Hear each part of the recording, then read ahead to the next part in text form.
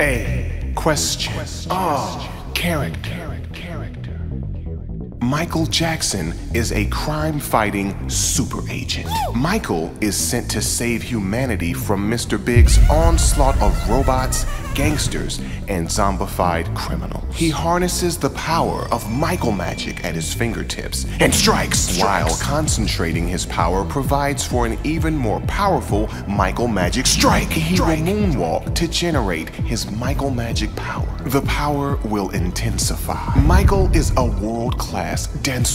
His swift agility allows him to maneuver between barrels. The barrels will not touch him. Michael has a pet monkey named Bubbles. Bubbles wanders about within gangland war arenas with the ignorance of a silly child. However, Bubbles harnesses the power of Mega. Michael merges with his pet monkey Bubbles for robot power. He will roboticize. His flesh becomes metal. His jerry curl hardens into steel. Michael will fire dual lasers from his fists. Guided internal Michael magic missiles will intercept his enemies. Michael again generates power within his cybernetic belly for a more powerful attack. However, in human form, he is dressed head to toe in a 1930s zoot suit. It protects Michael from nothing. It does not protect from lasers. It does not protect from cars. It does not protect from criminal zombie spit. It does not protect from flamethrowers. Regardless, Michael will fight to rescue the children. The children love Michael. They will give Michael life. The children teach him to dance. His dancing powers will disrupt the enemy's attack. The enemies do not want to dance. They will dance. The robots will dance. The zombies will dance. The evil doll will dance. Michael is not alone on his conquest. There are two other My clones. They are both equipped with their own personal zoot suits. When Michael is idle, he will dance. When they are idle,